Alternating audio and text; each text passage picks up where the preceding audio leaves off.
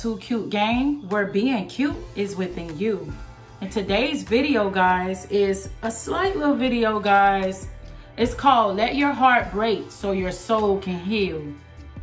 And um, I'm gonna be giving y'all some steps, and it's only three steps, guys, to get through this little process. I know some people be um making a whole list of, well, I used to be that, I'm people, I am people, so I used to make these lists of all this unnecessary stuff. Well, all the stuff made sense though, but I just got three little steps, man, just so your soul can heal. You know, sometimes you got to go through a breakup, breakup with which causing so much pain for you to stay in and it's so much harder just to keep every day waking up in this miserable misery misery see the thing about people right in this world they um is scared to be alone. And a lot of times alone is not bad. To be honest, my best days and my be my best life of my best life is when I've been single. So I'm gonna give y'all these little quick little three steps. Um, and I want you guys to go to my IG. Go guys and follow me on IG. It's too cute Nisha at IG. Um, you guys want any questions, any suggestions on any videos, you click that tell me link and the description in my bio and just answer, I mean, type a question or tell me what you think about my videos. Um, I might do the first five questions, my honest answer. I got y'all, okay? Even the bad ones. So let's get right into this video. Number one, you'll have to hit rock bottom so at this point, you're at a you're at a dead end road. You're like at your lowest as you can go right now. And you just, you know, you just holding on to lust, pride, ego, and all these other things. You don't want to be alone. And a lot of times, like, it be lust. A lot of times it be lust, y'all.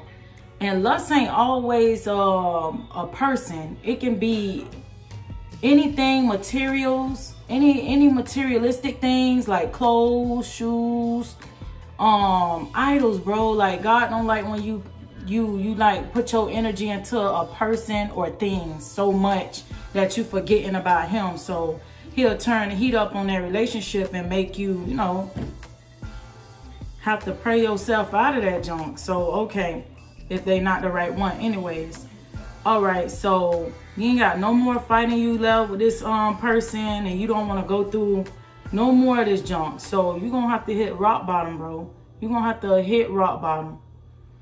A lot of time rock bottom is not bad because in the Bible it says you're going to learn some things at the bottom you would you wouldn't ever learn at the top of a mountain. So people who is doing the bullying like in a relationship, whoever is the one was the bully in the relationship, they are the ones on the top of the mountain. So you is the one on the bottom. Like you the one that was innocent. You the one tried to fight for it. You the one put your effort in it. Not saying the other person didn't, but you fought harder.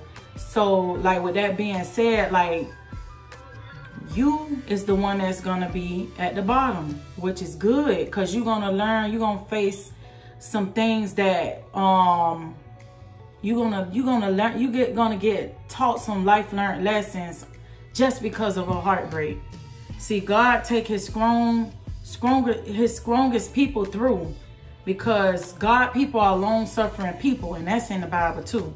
Um so you know when you go when you uh hit rock bottom, just just just know guys, you're you just got to go through this process and you're going to know God, people always win in the end. But, um, what else I wrote down? Um,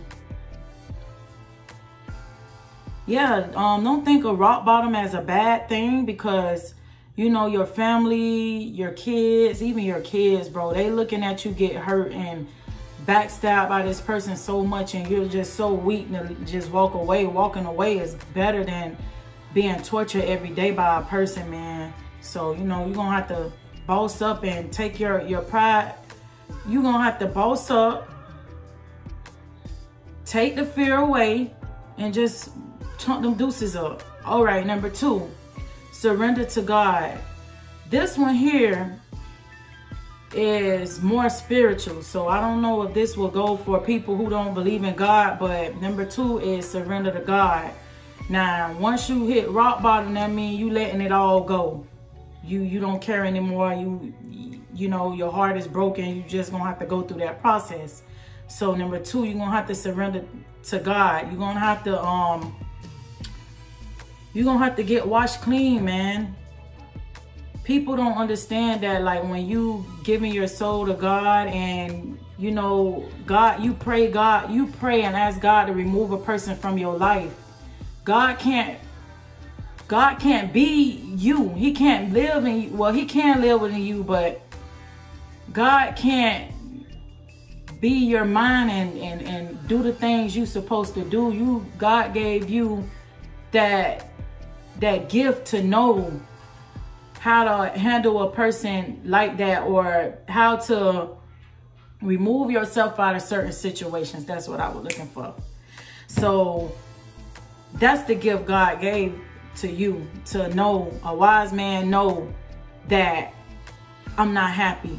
You wake up every day, you're not happy, you're not smiling. This person is so mean and bitter. You just being bitter too because you're just holding on to it. What's the point of holding on? Hit rock bottom. So once you hit rock bottom, you want to surrender yourself to God. Wash yourself clean. Um, and I'm gonna leave a, a, scripture at the end for those who haven't gave their life to Christ. You know this scripture, you can just read it out loud and you know wash yourself clean. Cause when you letting go of a, a dirty relationship like that, you're gonna want to clean yourself. You want to start over again. You wanna you wanna just be reborn, like you renewing yourself. And that jump feels so good when you just let it all go and you let God deal with the situation by removing yourself because if a person really love you they'll come back number one they'll come back and they'll come back with sense they won't come back and try to humiliate you to a certain level to keep like uh with the toxicness and the bitter all this junk like you just gonna know. You gonna know if that person coming back to better himself or you gonna know if that person coming back with a punch. Because sometimes guys when you open that door again and let that person back in the demon's gonna be 10 times more than that one you just dealt with. So the pain gonna increase um so yeah you're gonna have to surrender to god and wash yourself clean number three um you're gonna have to choose pain Everyone looking for a pain-free exit. Ain't nothing in life is gonna be pain-free. You're gonna have to face pain wherever you go. And I look at certain situations like relationships, it can be compared to death. Cause sometimes love hurts so bad that it just feel like, you know, like you just lost the loved one like through death. So you gotta look at it like this. Okay, I know everybody in this world I lost somebody done died, you know, and they family, friends, somebody they know done passed away that meant so much to them. So like with that being said, um, the same with a relationship. This not the first one. Some people, sometimes it be the first relationship, but if you done been hurt so much that, you know, you you you know how to just build up your self-esteem and just walk away, bro. Like it's not that hard. So you're gonna have to go through you're to have to choose that pain. Because you're to be in pain either way. If you stay with them, you're to be in pain. So if you choose pain over that relationship, you actually, like pain is not, pain is temporary. Pain is always going to be temporary. But if you stay in that situation, that pain going to keep continuing. So you don't know how long you're going to be. Sometimes pain turn into stress and stress can kill you. So you got to think a lot about mental health too, because certain situations you don't want to be putting yourself into that type of pressure and um, it causes you all type of health issues, all type of things, man, can go wrong with dealing with a toxic person. Um, But pain is temporary and um yeah, pain is temporary. So you're gonna have to um choose pain so you can break that soul tie from that person. Because soul ties is very hard to be broken. If you're not um a spiritual person it probably can be a constant battle that you're gonna run behind a person that don't even want you around them. Like you gotta not even put yourself in a situation like that because that person ain't running behind you. So like these little steps here these last little steps guys these is opposite from those three that i gave y'all so the first one was you'll have to hit rock bottom. That's number one. Number two is surrender to God. Number three is you have to choose pain. And these steps here is just like some finalizing, you know, things that you should think about while going through the through this um you know through this this while you cleaning your soul okay stop fantasizing don't be fantasi fantasizing about this person. This person is in your past. Let it go. It is over with. That's number one. Number two, forgive the other person. You must forgive in order to move on. Because if you hold on to a baggage, you're going to carry that baggage to your next relationship and it's just going to be toxic too.